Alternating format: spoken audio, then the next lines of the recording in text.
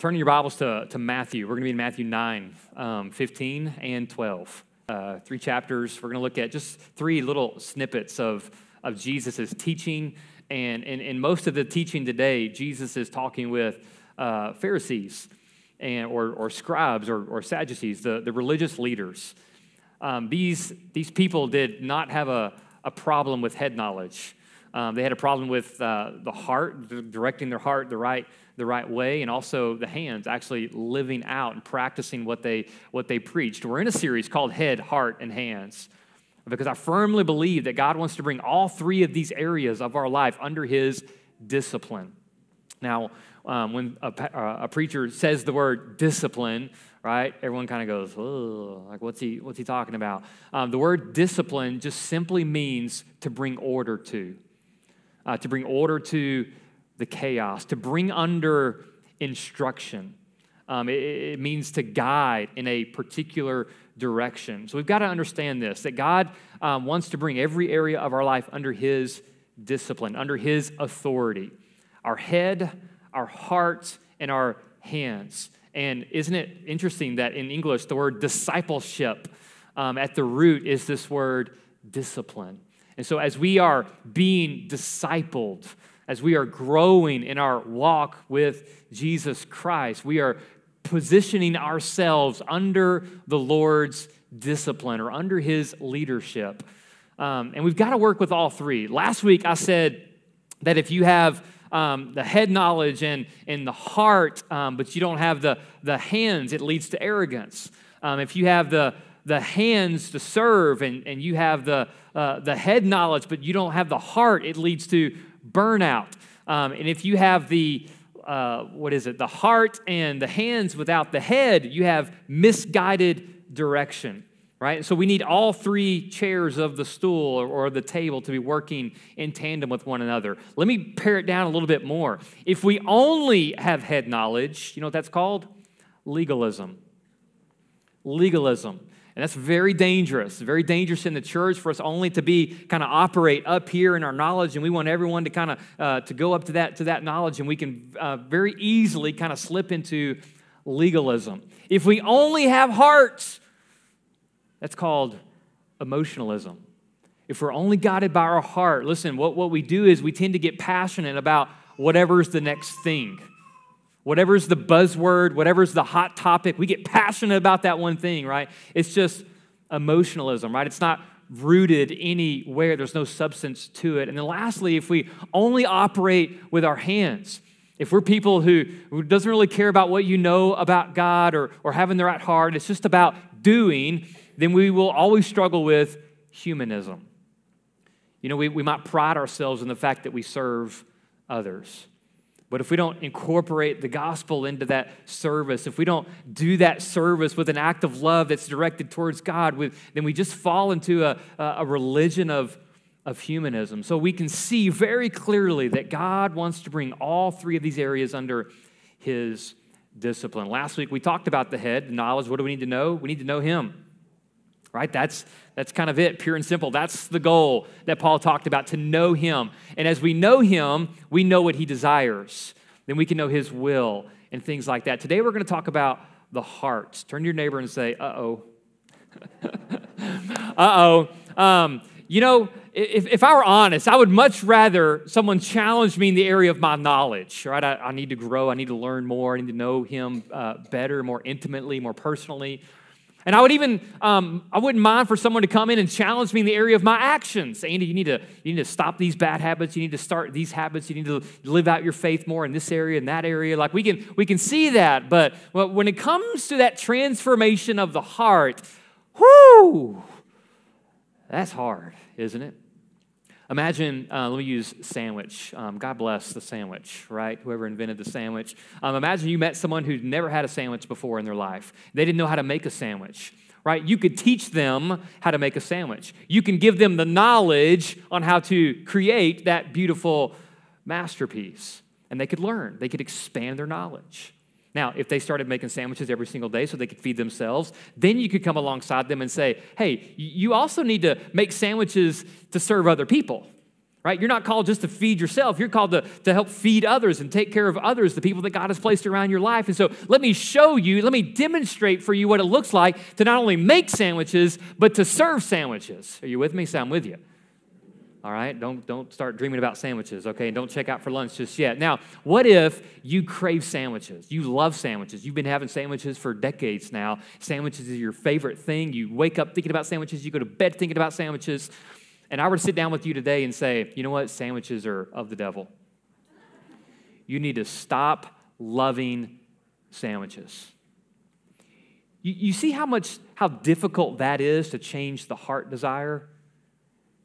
It's, it's difficult to learn, but it's not as difficult. It's difficult to change our actions, but it's not as difficult as putting our hearts out there before the Lord and saying, Lord, if there is a desire of my heart that is incongruent with you, that is incongruent with what you desire, then Lord, I want to surrender that desire to you.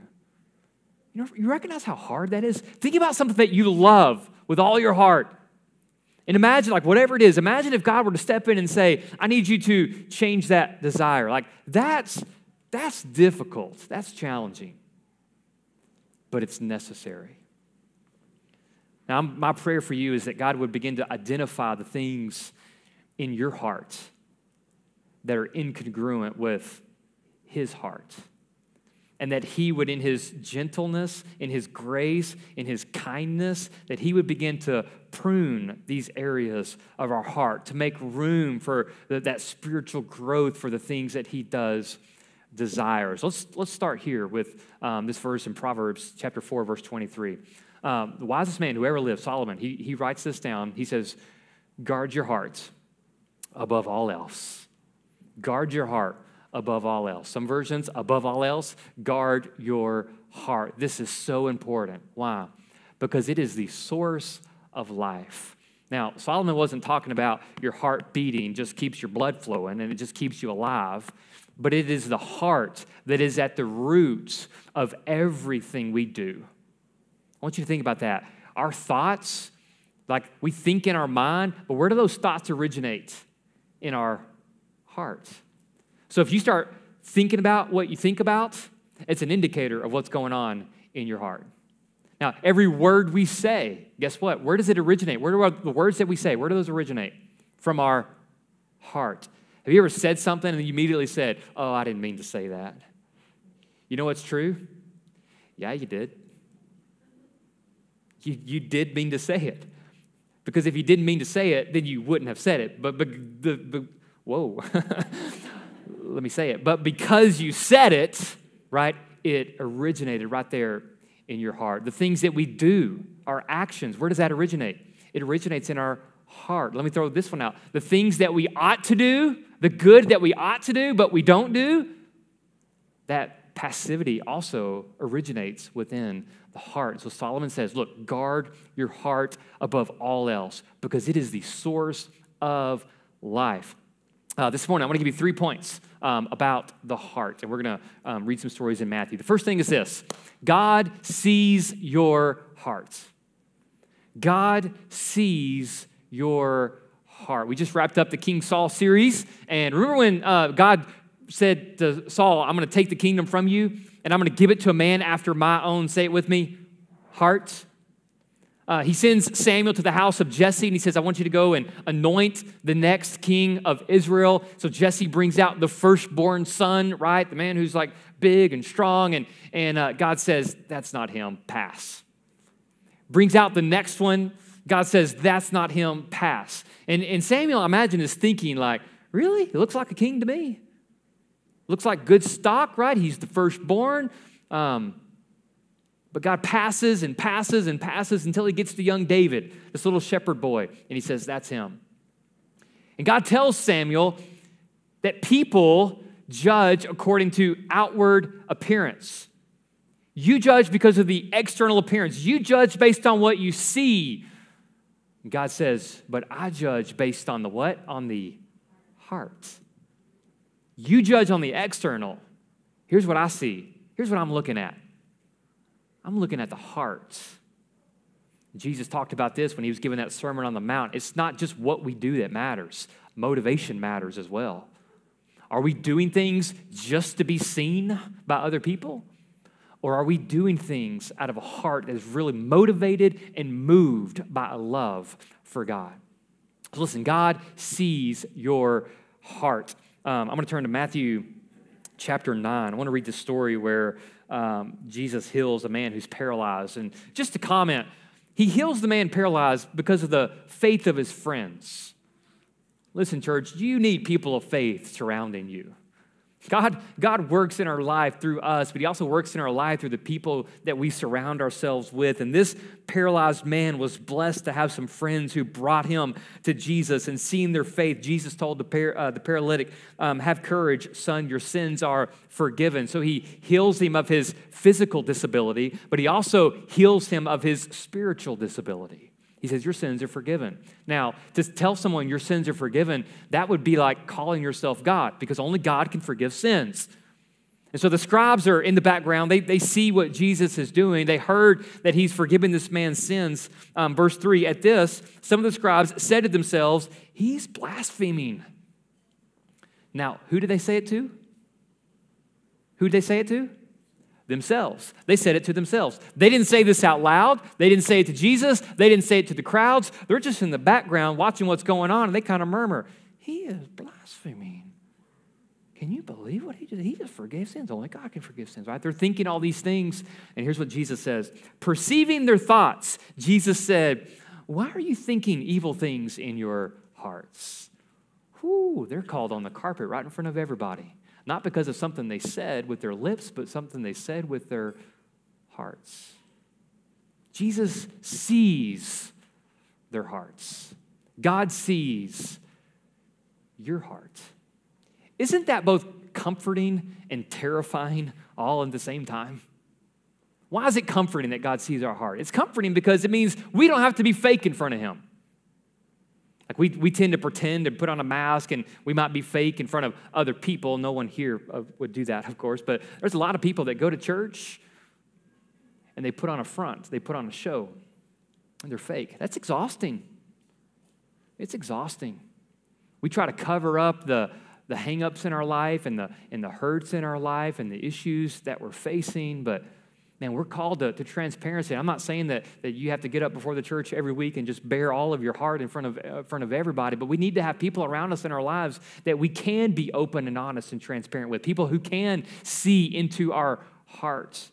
So there's a relief that comes knowing that, that we can't pretend in front of God.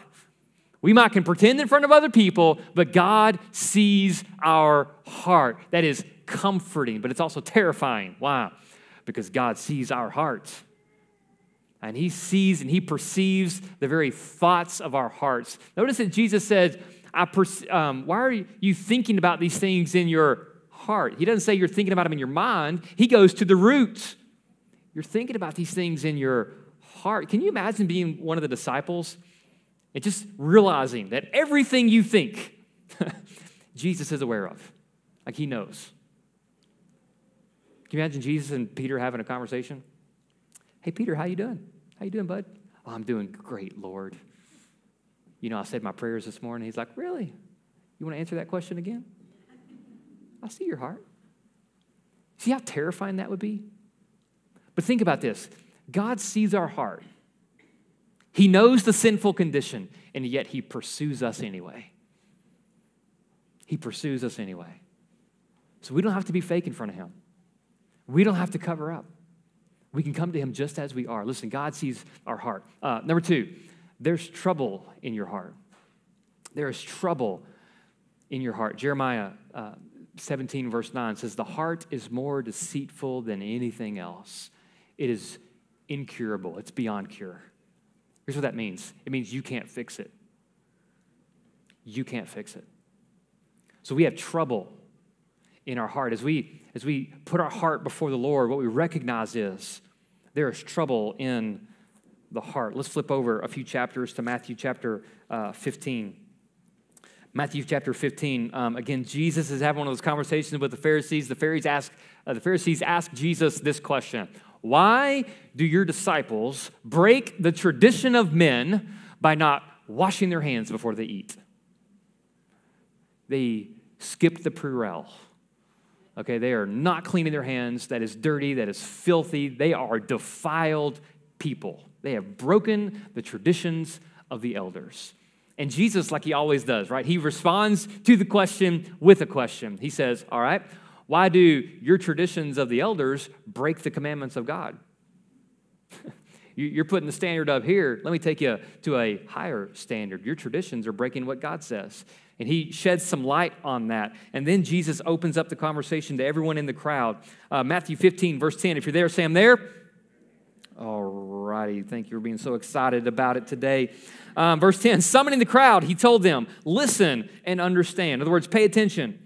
It's not what goes into the mouth that defiles a person, but what, but what comes out of the mouth that defiles a person. It's not what you eat, it's not what you take in that defiles your, your life or your heart. It's what comes out that defiles your life and your heart. Verse 12 The disciples came and told him, Do you know that the Pharisees took offense when they heard what you said? Hey, Jesus, you offended the Pharisees. Did you know that? Just bringing it to your attention. That's all. Just wanted you to know. They're, they're ticked off right now. You made it, you upset them. We, we should kind of put up the guard, you know, be wary about what we say. Don't, don't dive too deep here. And here's how he replied Every plant that my heavenly Father didn't plant will be uprooted. There's sometimes when Jesus responds to things, it just kind of make you scratch your head. Okay, they're telling him, You've offended the Pharisees, and he starts talking about God's secret garden. Every plant that God didn't plant, God uproots. Anybody a little bit confused? Not tracking with Jesus all the way? He says, Leave them alone. They are blind gods, and if the blind guide the blind, both will fall into a pit. Then Peter said, I like Peter. I can relate to Peter. Uh, explain this parable to us. What's going on here? You changed gears. We were talking about heart issues. We were talking about the Pharisees being mad. You went off on the plant um, illustration again. And Jesus said, Do you still lack understanding? That's, that's got to be hard to hear from your Lord and Savior. Do you, do you still not get it? Don't you realize that whatever goes into the mouth passes into the stomach and is eliminated. But what comes out of the mouth comes from the heart, and this defiles a person. What comes out of the heart is what defiles the person. So then we must ask, well, what comes out of the heart? Jesus tells us, for from the heart, here it is, come evil thoughts, murders, adulteries, sexual immoralities, theft false testimonies, slander. That's all bad stuff, isn't it? These are the things that defile a person, but eating with unwashed hands does not defile a person. The Pharisees are aiming at the wrong target. They are judging the book by the wrong cover. The issue is not eating without washing your hands because it's not what comes in that makes us unclean, it's what comes out that makes us unclean. What's Jesus doing? He's getting to the root of the problem, isn't he? It's not the plant. It's not the fruit that you should be concerned with. You should be concerned with the root. And here's what he says. Here's the parable. Any plant that's not rooted in God, it's not a, it's not a plant that God plants. What does he do with it? He says, Oh, that's cute. Let's let it hang out with the others. No, it says that he uproots that plant. That's serious business, folks. A tree, a plant that's not rooted in God, it's not planted by God, he says it goes out of the garden. So let's back up a couple more chapters and get a little more context here. Matthew chapter 12, Jesus often talks about gardening and um, fields and vineyards and sowing seeds. And um, here in Matthew 12, verse 33, he says, Either make a tree good and its fruit will be good, or make the tree bad and its fruit will be bad, for a tree is known by its fruit. Um, how do you make a tree good or bad? How do you do that? You don't shake your finger at it, right? Bad tree. That's a good tree. how do you make a tree good or make a tree bad? It's the roots, right? You don't address the, the fruit or the branches, you go to the roots. You either water and, and, provide good soil, that will produce a good tree, which produces good fruit, or you take all those things away and it's not getting the nutrients and nourishment that it needs, and it's a bad tree and produces bad fruit. And then in verse 34, he says, brood of vipers. Now, who's he talking to? He's talking to the Pharisees. And, and, and this term here was like, whew, that was a weighty, like, people in church today would say, oh, Jesus said what? What did he say? Now, I look up the word brood, and I studied it this week because I've never, in my 37 years and 11 months of living on planet Earth, I have never, ever heard anyone use the word brood in a sentence until this past Thursday night. We're having dinner at my in law's house celebrating my father in law's birthday, and um, Uncle Joe Dan steps in and says, You know who I saw at the restaurant the other day? And he names a couple. He said, Yep, they were there with their brood. I said, You got to be kidding me. I've never heard that word used. I've been studying it all week, and here you are throwing out, just throwing out the word brood like it's been in your vocabulary all your life. What I learned this week about brood is it's basically it's your offspring, it's your, it's your children. Um, we have chickens at our house, and we have a, a chicken. Um, it's actually named Nugget. Is this particular chicken? Um, Charlie, Charlie named him Nugget, or her named her Nugget. Um, Nugget gets broody every couple of months. You know, what, so I looked up what does it mean to be broody? It means she's trying to hatch her eggs. She's going for the fruit, right? She's going for the offspring. So when Jesus says, you brood of vipers, he's basically saying, you're spawns of Satan. That's the, oh, that's a hard word to call these guys. You are children of the devil. You could even say, you are bearing his fruit, and it's bad fruit. Brood of vipers, how can you speak good things when you are evil? For the mouth speaks from the overflow of the hearts. A good person produces good things from the storeroom of good, and an evil person produces evil things from his storeroom of evil. So basically, whatever you have going on here is what comes out here. But you know what we often do in our world and society and, and people? We always try to address the external behavior don't we? Because that's what we can see and that's what we judge. So we think we have to fix it at the external level. And Jesus is trying to prove this point. You can't fix it at the fruit level, you have to uh, fix it at the root level. Can you imagine if you broke your arm today? and your way, and you're in a lot of pain, and your way to address the pain is by taking Tylenol. Right? You, you would take a, a painkiller to address the pain. But you're not really addressing the source of the pain, are you? You're addressing the symptom of the pain. And there's a big difference. The difference is when you address the source of the pain, it leads to healing. When you address the symptoms of the pain, it just covers it up for a little bit then that pain comes back because you have not addressed the source. And you have to take more Tylenol to cover up that pain. And that pain that starts in your arm now spreads all over your body because you're not willing to address it at the source. That's the message of Jesus here. Listen, you can't just fix it at the external level by doing things that just make you feel good for a temporary basis because it doesn't address the root. You got to go for the heart you got to address it right there. Here's what the Father does when it's planted by Him, it produces fruit. When it's not planted by Him, it has to go. You hearing that, church? When it's planted by Him, it produces fruit. When it's not planted by Him, it has to go. So here's what we've learned so far God sees our heart. That's comforting. Oh, that's troubling. What does He see in our heart? He sees trouble, He sees the sin, He sees the issues that we're that we're dealing with. He sees the, the brokenness. But let me wrap up with some good news. Number three, God offers you a new heart. God offers you a new heart. Remember, we started off talking about this. This is not something you can fix on your own. This is something God supernaturally has to do in us, transforming our heart. And here's why this is so important. In uh, Psalm 20, uh, 24, 34, Psalm 24, verses 3 and 4. The scripture says this Who may ascend the mountain of the Lord? Who can stand in his holy place? The one who has clean hands and a pure heart. In other words, we can't enter into his presence without a pure heart. It's not the external stuff, it's not the going to church, it's not the giving to the expansion fund, and it's not the helping others in need and serving, it's not the actions. It's the heart issue that has to be addressed.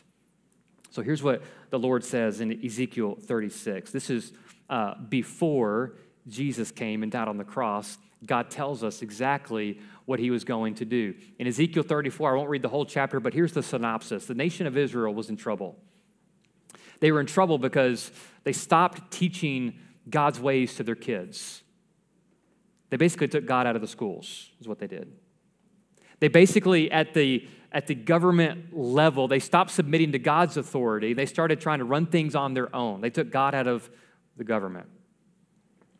They began to break down all the things that God had established for them to say, if you do these things, it will be well for you. You will be blessed. They begin to throw all those things out the door and say, God, we think we have a better way. They started to make idols of things. They started to worship the created things over the creator. And God says, look, this is a problem.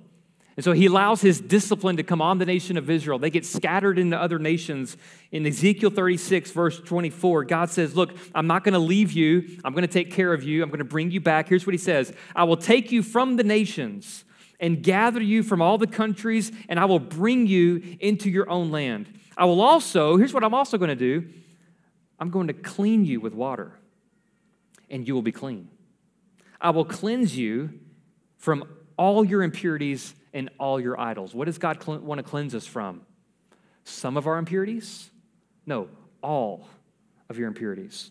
I will give you a new heart and put a new spirit within you. I will remove your heart of stone, in other words, your, your dead heart that doesn't work, and I will give you a heart of flesh, one that's living, one that does work. I will place my spirit within you and cause you to follow my statutes and, um, and carefully observe my ordinances. All right. God says in Ezekiel 36, here's what I'm going to do. You've, you've gone astray. So here's what I'm going to do. We're going to get to the heart. He's prophesying about what's to come. He says, I'm going to cleanse you. I'm going to give you a new heart. What's the third thing? I'm going to put my spirit within you. Listen, church, that's exactly what God did through his son, Jesus Christ. When he went to the cross, his blood that was shed purifies us, the Bible says, from all unrighteousness. All of it. Not, not big ones and small ones, but all unrighteousness. Not just our past sins, but even the sins that we have yet to commit. He cleanses us from all, the, all of that. He cleanses us and He gives us a new heart. Now I'm going to take out that heart of stone, the one that doesn't work, and I'm going to put in one that does work one that I can mold, that I can shape, that I can put desires in and shape and form into the image of my son, Jesus Christ. And then lastly, I'm going to plant my spirit within you. And listen, when God plants his spirit within us, that spirit grows. And what does that spirit produce? We don't have to guess because the Bible tells us in Galatians the fruit of the Spirit is love fruit is joy, it's peace, it's patience, it's kindness, it's gentleness, it's self control. This is the fruit that the Spirit produces as we walk with Him and in Him and by Him and for Him. It happens automatically. We don't have to go and force it. It just begins to shine through. Why? Because we've addressed the problem at the heart level, at the roots. We've made the tree good. We've made the tree good. We've moved away from a children of the devil and we're adopted into the family of God as a child of the king. That's good news, church. Maybe you're here today and you'd say, Andy, I I gave my life to Christ, but man, I'm, I'm, I don't have all that patience and that goodness and that kindness. I struggle with these things. That's because we're still walking in the flesh. And we've got the flesh walk and the spirit walk kind of cohabitating in one life. And, and there's a battle. And Paul talks about that battle, about doing what he doesn't want to do and not doing what he knows he needs to do. And man, thanks be to God. Like, what are we going to do? This wretched man that I am. And he says, Oh, but Jesus. Thanks be to God through Jesus Christ. So God prunes our heart, doesn't He? Oh, you're producing patience. That's good, but I'm going to prune so that you'll produce more patience. You're producing goodness. That's good, but I'm going to prune so that you'll produce more goodness. And this is the pruning work that God does in the life of the believer. Hey, but maybe you're here today and you're not a believer. You're not a child of God, you're not a follower of Jesus Christ.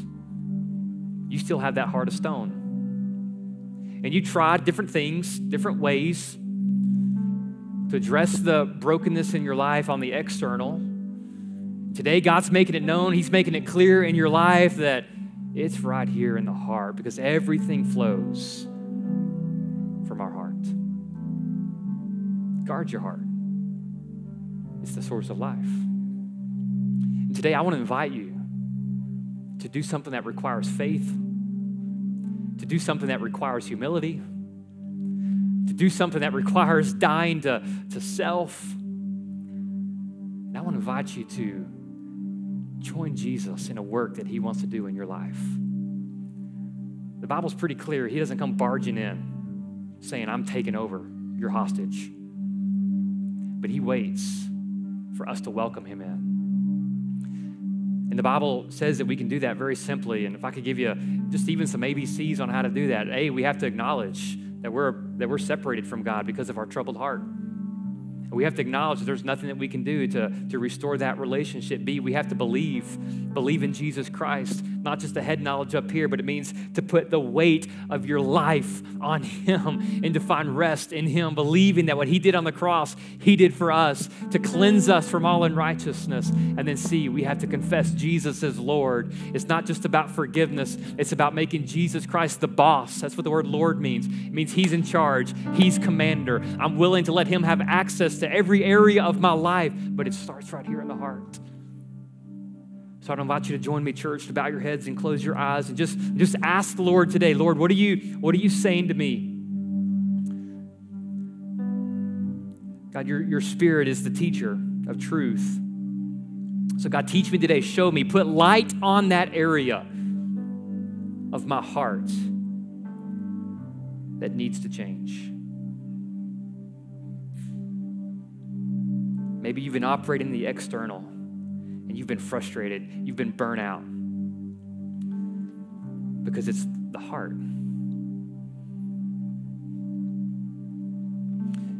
You know, sometimes we treat church like a gas station. We come in wanting to get refueled, and then we live our life throughout the week going on empty, and we come back to get refueled. And for some people, man, you can make it every two weeks. You can make it once a month. You, know, you make it at Christmas and Easter to get that refueling.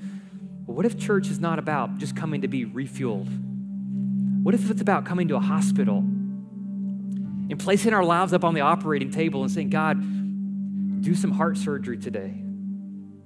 God, examine my heart and see if there's any offensive way. Maybe you're here today and you need to pray to invite Jesus to come in and save you and give you that new heart. I want to invite you just to, to echo a prayer like this Father in heaven, thank you that you pursue me. You see my heart, you see the trouble, the sin. God, you pursue me anyway. So, God, today I, I quit. I quit my own agenda. I quit running. I quit living in my, in my pride and my arrogance, and I humble myself before you. And I ask that you would cleanse me of my sin and all unrighteousness. God, you'd give me a new heart. And You would plant your spirit within me. God, you would begin this new journey. You'd make all things new. God, today I confess I'm yours. I belong to you. In Jesus' name. And all God's people said,